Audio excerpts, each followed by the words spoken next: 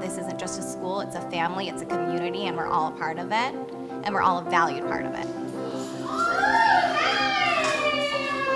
Um, tenga un bien día, which is means have a good day.